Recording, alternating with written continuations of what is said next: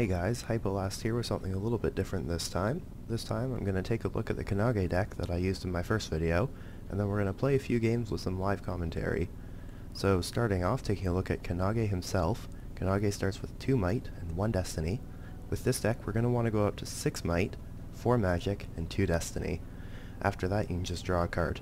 The other thing about Kenage is he has access to two fantastic schools of magic, Light and Water, now the main thing we're going to want from Light is Anael and Blinding Light, two very powerful cards that fit into our strategy really well. Water, I'm pretty sure all of the Sanctuary heroes are water aligned. This gives us access to Geyser and Ice Spikes, two also very powerful spells. Geyser actually combos really nicely with what a lot of Sanctuary cards are trying to do. For his abilities, he has his regular abilities, and he also has this one. For 1 mana, we can make all the Naga creatures in my hand cost 3 mana. Now, this pretty much never comes up. Basically, the Naga creature, if you're only playing one, has to cost 5 or more. We do have the Lotus Guards, and I think a couple other in there that would benefit from that, but typically if you're that high up, you really just want to be drawing a card instead. So, moving on to the creatures, we've got Shark Guard on our low end. Now, this guy doesn't have fantastic stats, a lot of the time he just ends up getting blocked off, but really you just want something to play on turn 1. You don't really want to end up going too slow, and you can move things in front of a Shark Guard with your outmaneuver ability in order to use this guy a little bit later in the game. Spring Spirit and Kabuki Sentry make up your two really early plays that you want to be making. These two guys grab board control really well, make it kind of awkward for your opponent to play on the rows that they exist on. Both of them are going to be hitting for two, and that means that they're going to be able to take out most early drops, most 1 and 2 drops that your opponents are going to be playing if they get the first attack in. Spring Spirit, uh, if she's being evenly matched with a flyer or a melee, for example a Harpy from Cat, then she's going to be able to take that out after retaliation damage, and in the case of the Harpy, Spring Spirit just straight up always wins. Uh, Coral Priestess, Psionic Champion, and Seductress make up our three drops, Coral Priestess isn't really a 3-drop though. We want to be using her later on in the game, once we have some board control. We want to move stuff either out of the way when it would eat our creatures for free, or we want to move stuff into the way when we control a row really powerfully.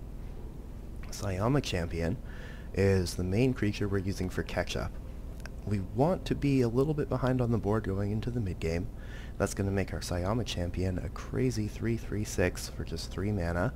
We're only requiring 3 might as well, and usually after your opponent has traded a little bit, he's going to be starting on your turn as a 3-3-6 in the middle game. Kabuki Seductress is coming down mostly to save your creatures in the early game. When you have something that's at pretty low health and it's facing off against something that also has low health, you can bring down the Seductress, stop their, your opponent's monster from attacking you, and then you'll be able to kill it on the next turn. Basically just buy your guys a little bit of time, keep that board control going. In the late game, this is also a fantastic stall card. She can stop your opponent's biggest threats. For example, if they have a Raya or an Anael or any kind of crazy uniques out, you can just stop them, bring them out of the game for a turn, give yourself some time to breathe. Now, Wanazami is your only 4-drop. This is what you're going to be using once you've started achieving board control. The Honor 1 comes down and really gives you a grip over the board. A lot of people don't anticipate the Honor 1. They're willing to put stuff in front that would survive with just 1 or 2 health, and oftentimes a Wanazami or 2 can come down and really change the flow of battle for the turn. Naga Tidemasters, we're playing 3 of these, along with Raya as our 5 drops.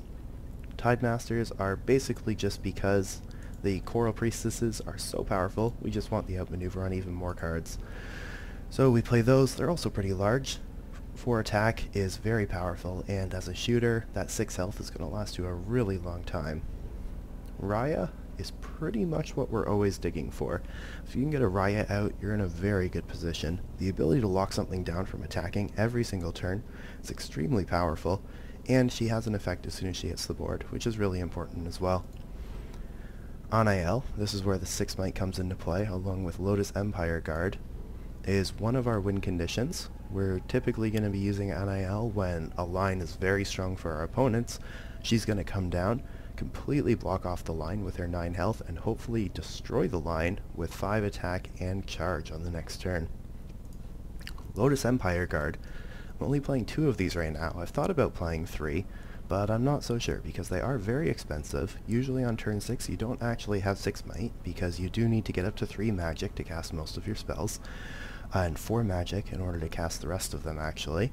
So usually you're sitting at 3 magic and either 4 or 5 might by the time you get up to turn 6, so this is more like a turn 8 play.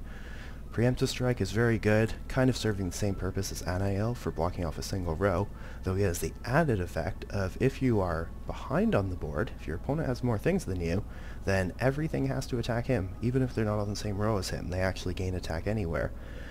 The 3 Preemptive Strike makes that really inconvenient for flyers and melees. Unfortunately, if your opponent has a strong shooter presence, they can sometimes take him down for free, so that is one thing you need to be kind of careful of. And I've actually had times where I play this not realizing what's going to happen. My opponent kills off a couple of my guys and then manages to use all four of their shooters to take out my Lotus Empire guard without him doing anything. So that is just something you need to be aware of. Your opponent sometimes has tricks with this. The other thing about Lotus Empire Guard is that he can't actually be targeted. So if you're playing against a control deck, then it's just nice knowing that he can't be hit by a lightning bolt, he can't be hit by a geyser, he can't be hit by a blinding light. Basically, when you play him, your opponent's going to have to deal with him through combat. Moving on to our spells, we're just playing a decent suite of removal. We've got lots of positional removal, Sunblaze, Ice Spikes, Geyser, not so much Word of Light, but these three particularly. These are going to be comboing with our outmaneuver spells, moving our opponent's creatures into bad positions. For example, if they're spacing their guys correctly for a geyser, we can take one of them, toss it in the middle, and then geyser three or four guys pretty consistently. Word of Light just to clean up anything that's surviving, and Blinding Light for the big stuff. This is the main reason that we're in Light other than Anael. We're playing four Blinding Lights, and this card is fantastic. Saved me in so many times. Now one thing to remember about Blinding Light is that it just phases and makes the enemy not able to attack. For all intents and purposes they're not there, but your opponent also can't use that cell on the board. So you can actually use this to really clog up their board with useless monsters, and it's just really powerful, especially if you have good control over the row that uh, you've played Blinding Light on. For fortunes, we just have the two of them. We have Time of Need. This is primarily going to be grabbing Raya, though sometimes you're going to be grabbing Anael if you just need to close up the game, and Revised Tactics. Now, missing of note in this deck is Dark Lotus Pond, and I'm just going to pull that up for people who don't know what it is. Dark Lotus Pond lets you search your opponent's deck for four cards and banish them, but it also shuffles their hand in, so if the card was in their hand you get to banish it. Now, this is an interesting card. The first thing that I'm not really a big fan of is that it costs 3 Destiny, and as we saw, Kenage only starts off with 1, and so you need to invest 2 turns increasing your Destiny in order to actually use the Dark Lotus Pond. Second thing is, there's not actually card advantage. Your opponent ends up with the same number of cards in their hand and on their board as when you started, but you're down the Dark Lotus Pond. What it does do very well is get rid of threats and remove their win conditions.